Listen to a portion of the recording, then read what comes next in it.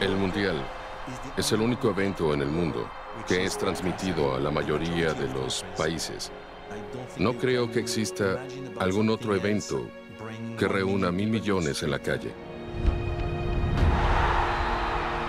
El Mundial es la mejor forma de la FIFA para hacer dinero.